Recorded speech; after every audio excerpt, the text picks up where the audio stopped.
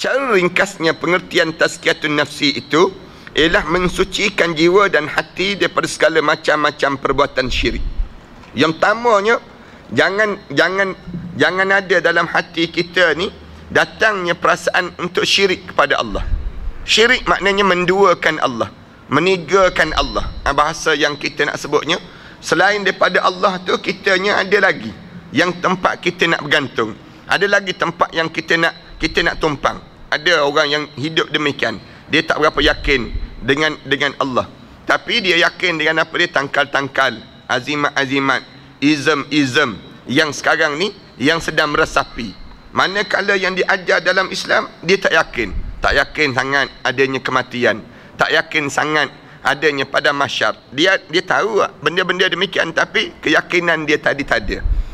Tiada dalam diri dia ataupun menyengutukan sesuatu dengan Allah ataupun menyengutukan sesuatu dengan Allah Subhanahu wa taala dalam dalam diri dia uh, dan menyengutukan sesuatu dengan Allah Subhanahu wa taala yang Maha Esa dan juga segala bentuk kelakuan yang merupakan cabang daripada dari syirik tersebut.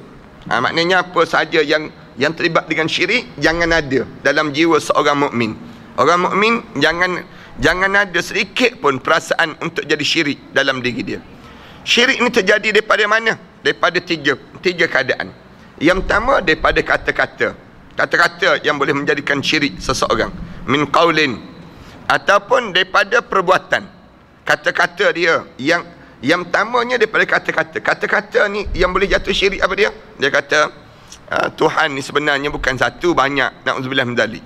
Dia sebut demikian. Maknanya syirik pada Allah. Syirik ni maknanya daripada kata-kata yang jelas.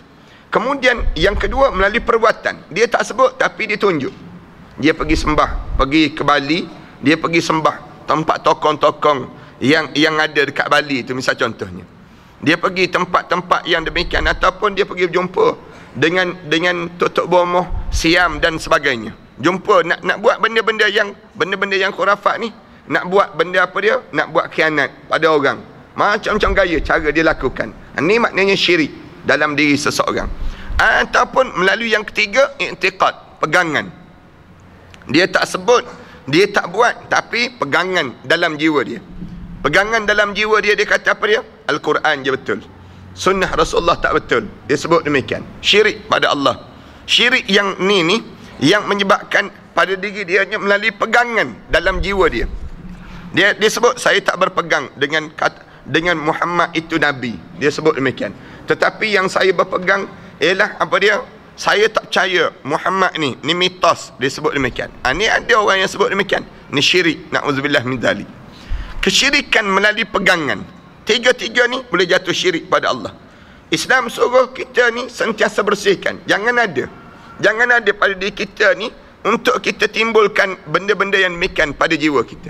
Ha, jangan jangan ada pada diri kita kalau lintasan terlintas demikian sekali dalam jiwa kita Islam suruh kita cepat-cepat istighfar.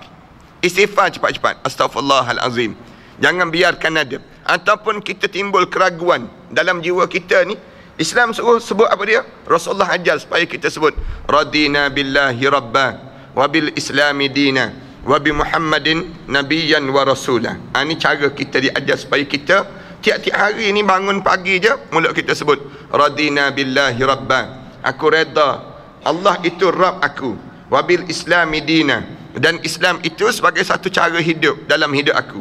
Wabi Muhammadin dan Nabi Muhammad itu nabiyan wa rasula nabi aku dan juga rasul dalam hidup aku.